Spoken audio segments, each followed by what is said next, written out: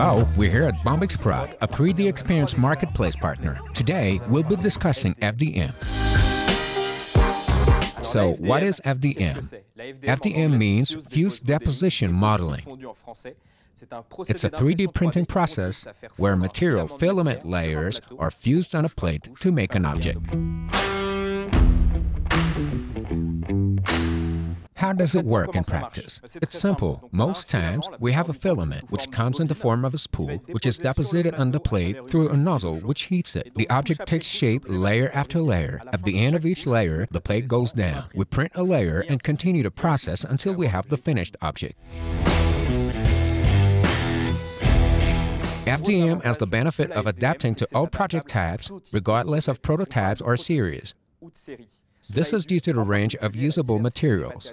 FDM works with plastics, composites, and even for multi-material printing. Another advantage, it's cost-effective technology.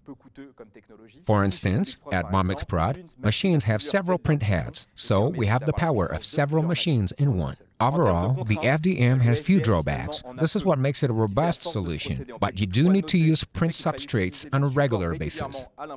And at times, finishing is required to produce a perfect and clean final surface.